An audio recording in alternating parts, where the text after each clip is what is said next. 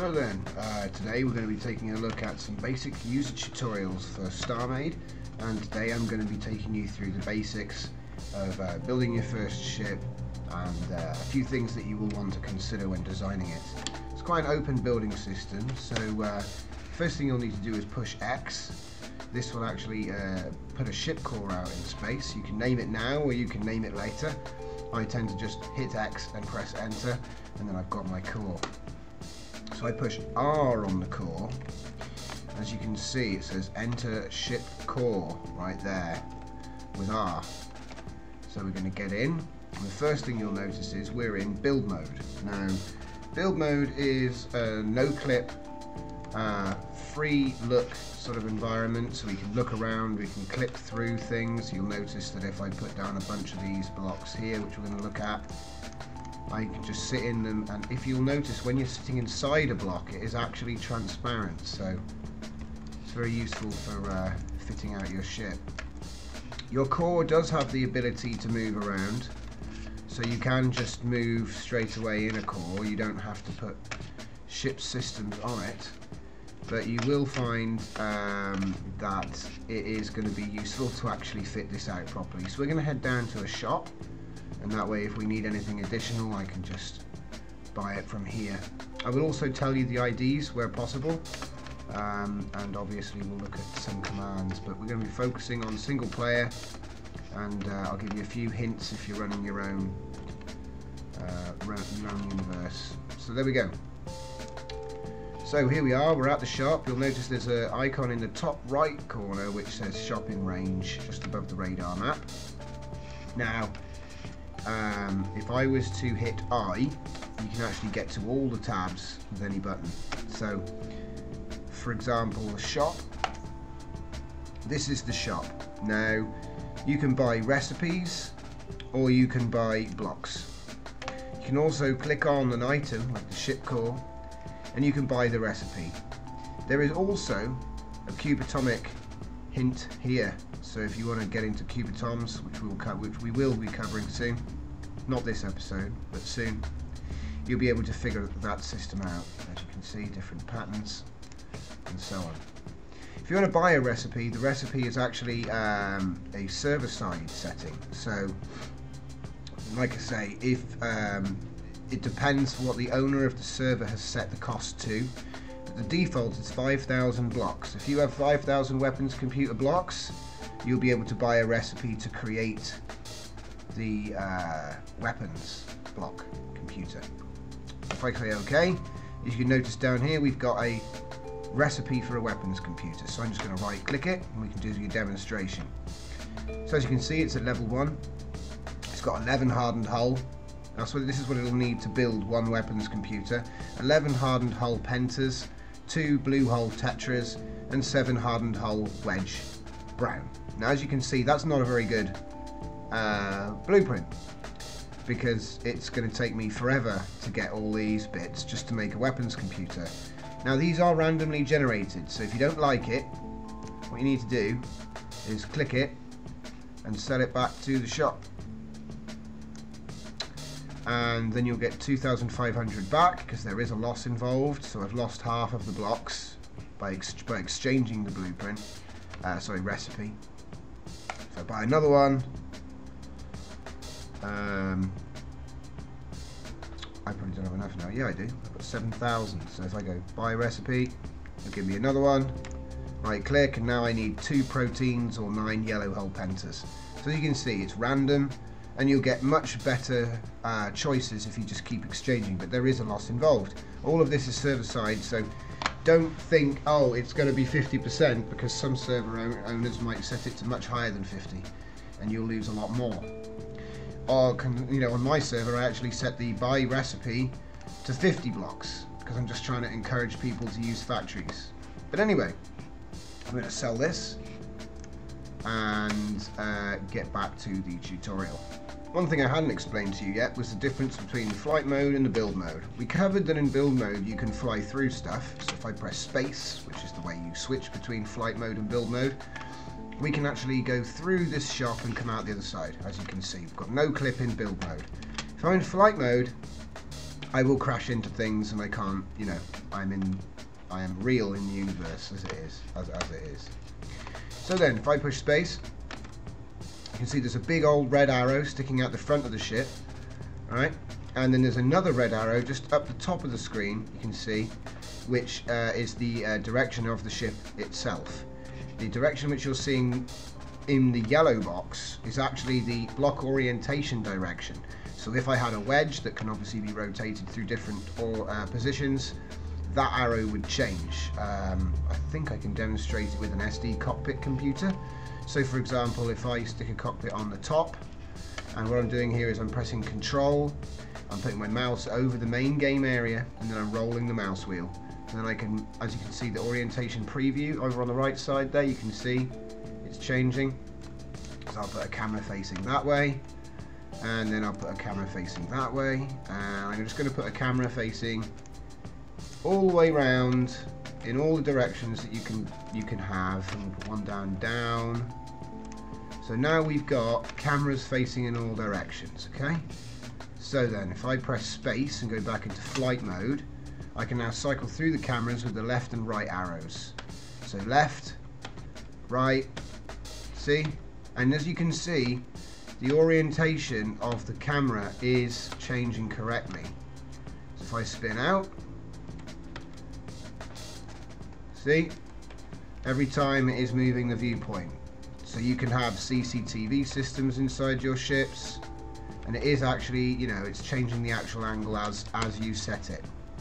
So that's one thing. So like I say, you probably wouldn't do it like this, but um, that's one way to do it. So anyway, X. Now, if I press uh, R to enter the core and then space to go into build mode. Right, let's talk about ship systems for a bit. I've got in my hotbar, on my slot 1, I've got the STHCT XM 3.4 power, which we all like to call the power recharge block. Next to it we have the SD shield disperser which says exactly what it does on the tin. Um, and we've got the hyperflux coil thruster which is used for adding thrust. The weapons computer which is used to be connected with your antimatter, antimatter cannon cluster.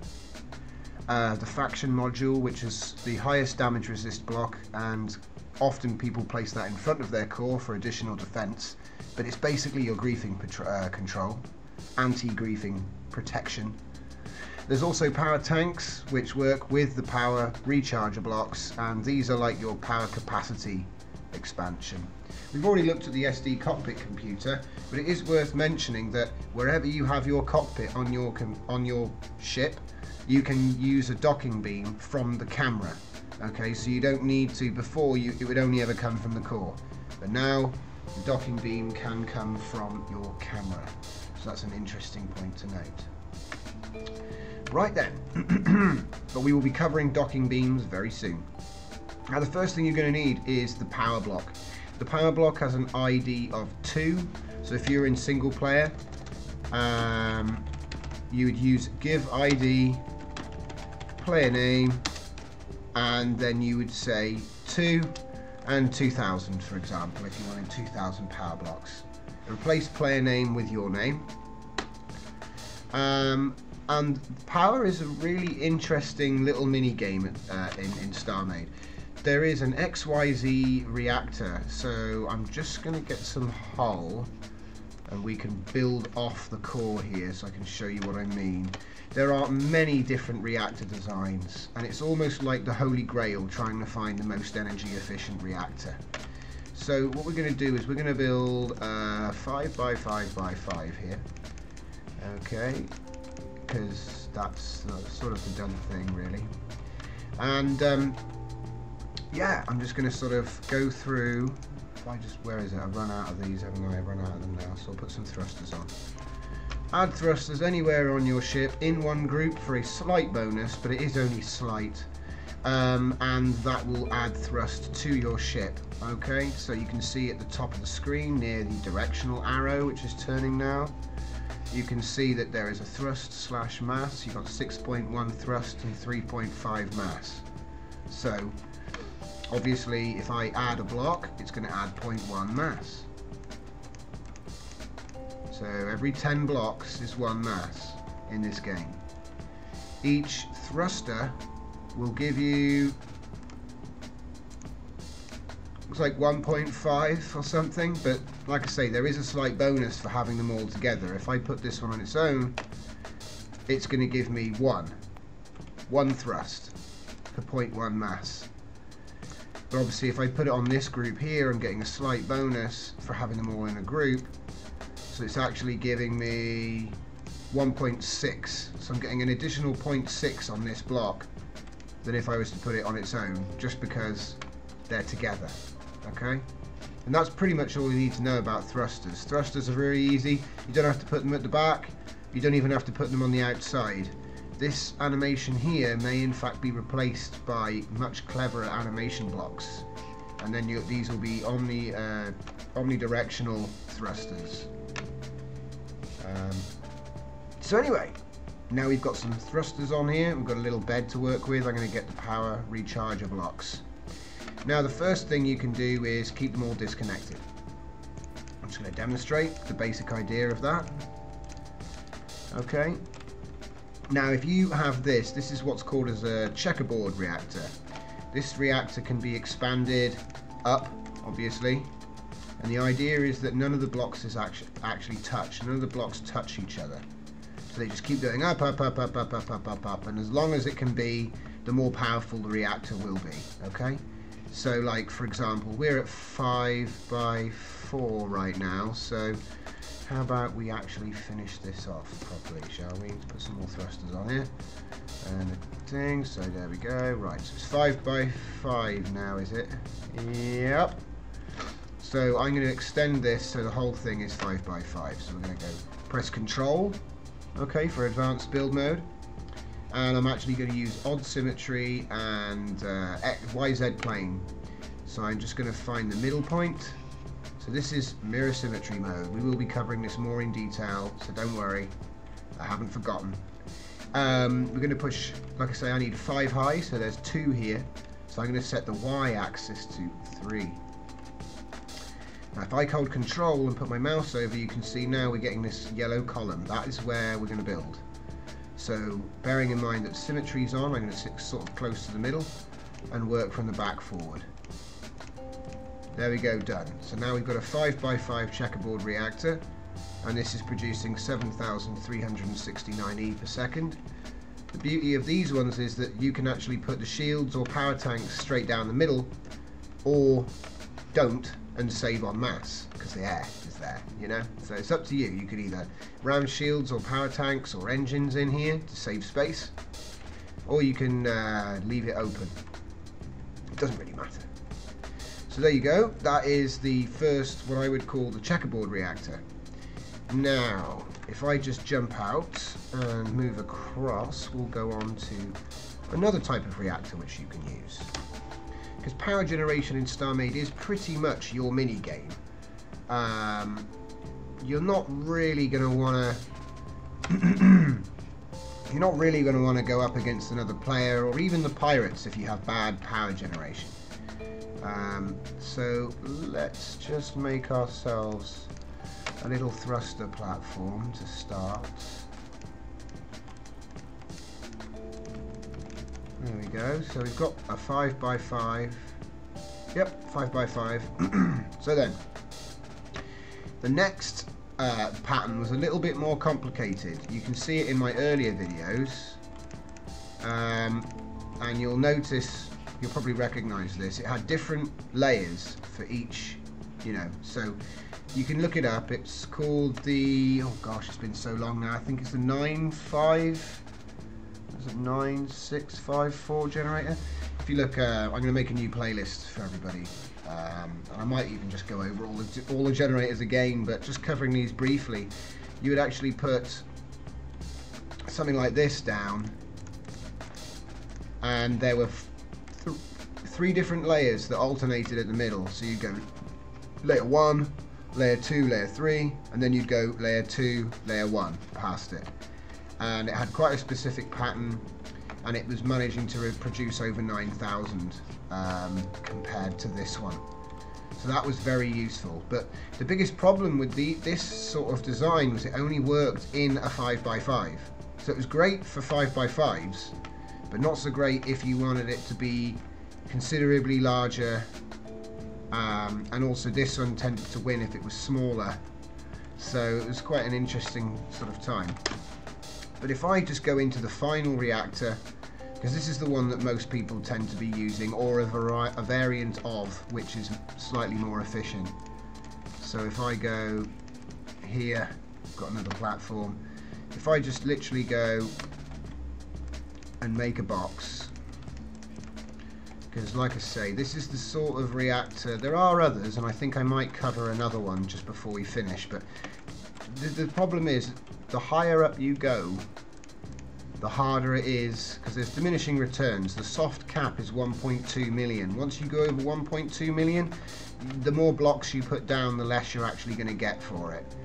Um, so, I mean, if I was just to show this as an example, if I just unset the symmetry quickly, I'm going to put a shield block on that corner, that corner, and then the opposite. So that corner, and that corner.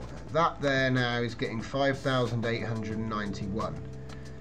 Now, if I was to, you know, fill in the inside with another one, which I probably can do in fact, hang on a sec. May as well, while we're demonstrating this. So you put another one in here, and bear in mind that this is not meant to be, you know, this isn't the, uh, you're meant to make them bigger than this, okay? I'm making it small just so you can see what I'm doing. But effectively it's a box within a box within a box and then you attach diagonal corners to make the most out of it. So there you are. Alright, so now we're going to do the corners. So look, there's one there. So put one there, one there. Oh gosh, what happened there? That's not what I wanted to do. Hang on.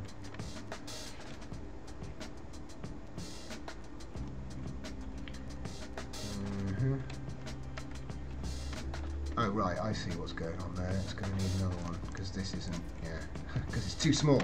And this is why it's too small. so where is it? Where is it? I need to get another thrust block long. Uh, shield blocks is what we're using. Put another one up there. And another one down there. And then trying to do this quickly for you guys. So here we go, another one there. So this is just trying to get every single space with a block they're not touching. I think we've got it. Okay, so now we're up to 8,782. And of course, bearing in mind that um, really you get the most benefit for this sort of reactor when you make it much, much bigger. And you can kind of ignore that because that there is just due to the size again. Um, so yeah, that is uh, the box reactor that everyone keeps building. I've got one more for you guys, so just uh, thanks for sticking with it. And like I say, we'll be doing something else in the next tutorial. So um, if I just quickly throw this down, it's funny because I'll just demonstrate the actual box because I haven't done that yet. Um, if I was to just make a box, okay, and I have explained this in previous tutorials, so I do apologise if I've uh, missed anything out. Here we go. So that there is a reactor, okay? It It's sort of, the maximum dimensions, it's as if it's full, okay? It treats it as if it's a solid but box, yeah? So if I build it, this could be full, this whole box area here could be full. But it only needs this to count. So that's 2,836. Okay? And if I was to take the same number of blocks, so I'll take three, three, four, five, six, one, two, three, four, five, six, seven, eight, nine, ten. 1,000. See the difference? Same number of blocks, this is 1000 energy per second, okay? If I take those blocks and spread them out, it's as if I have a much larger, so a big solid block is really wasteful for mass. Mass means more thrust. More thrust means more surface area. More surface area means more armor. More armor means more mass. More mass needs more thrust. More mass, more thrust, more power. More power, more mass. And before you know it, you're flying around in a Titan. Um, so this is this is the thing. You can get very much caught out by trying to build your systems around your weapon, you know. So it's it's an interesting little thing that a lot of people have problem with. I had problems with it too. And every time they change the game, people have to retune or rebuild, so it's not abnormal. But here we go. So we've looked at this, which is the classical corner reactor, as I would call it. And of course, you've got many ways of trying to make them intersect. So, you know, let's give you a demo of what that could look like. Okay, so another one here, another one here. Okay, there you go. There's something to make you get your get your brains spinning, or at least working. You know, this as a concept, that's that's one way of doing it. There are other ways of doing it. We were looking at one last night with Calberi, and um, it was very interesting actually to see what he does with that. Um, there is, of course, the most obvious one, which we haven't covered, and a hybrid version. So if I just quickly take the symmetry modes and whack them on. There we go. Right, now if I just literally just slide all the sliders up, we've got 10 by 10 by 10. Bang! Reactor. Right, what have we got? We have 103,157 energies per second, and it is 11 by 19 by 19. So yeah, there's also what we call the brute force way, which means I'm not even going to think about the mini game. I'm just going to throw them down.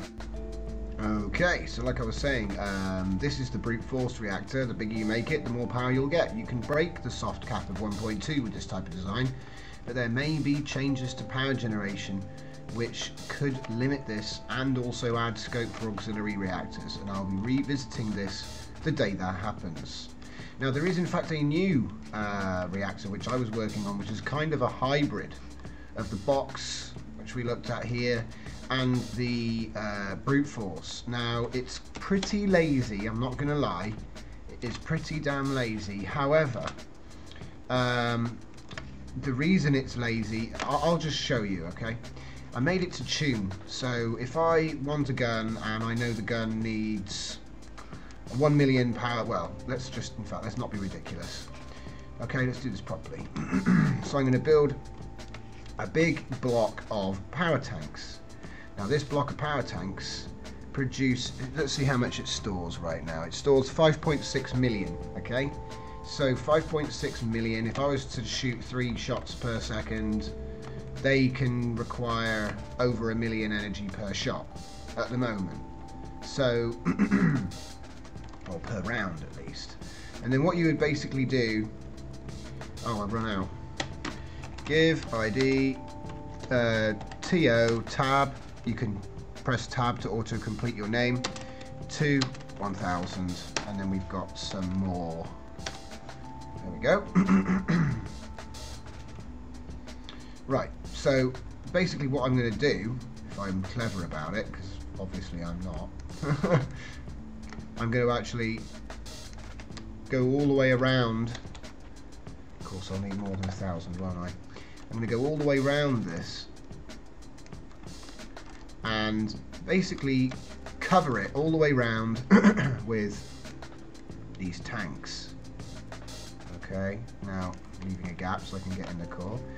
This went a bit wrong here, sorry about that. So effectively I want to coat my reactor with recharger blocks. there we go, right. And I do top and bottom as well, okay? Just to give it that perfect box because that's the whole point. I'm making a box around the tanks because the furthermost out recharger blocks give you the, the you know the most amount of power. So you could say, you could argue that the ones in the middle are dead weight. And therefore, you could just cut them out and replace them with tanks or shields. Now someone else has actually, this is quite a basic time saving way of doing it. It's not the most advanced hybrid reactor. However, I have seen people get good results from doing something similar to this, only they actually alternated each layer, so it was much more like this, only instead of having the central part another reactor, they've actually alternated between tanks and reactor. If I just go underneath, let's see, yep, so we've got all the symmetry in the right place. Okay, so now we've got our uh, hybrid reactor and this is producing 532, uh, so half a million energy per second from this, but with 5.6 million storage. Even though that's not really fair because I should take this off. There, there we go, otherwise it's not really fair, is it? So, let's say just under half a million recharge out of a 30 by 30 by 30, but it does have 5.6 million um, storage, which is really, that's the, that's the kicker right there, because it's all very well and good having a high recharge value, but if you don't have tanks, it's you're just forever recharging. So, uh, yeah. But I think we've covered all the basic reactors here. If there's any I've missed, please send them in and I'd gladly come and do a video with you showing that particular type of uh, reactor. Next we'll be covering different things such as shielding, uh, docking, weapons, those sorts of things. So uh, please be sure to check out the next tutorial. And as always, thanks for watching. I'll see you next time.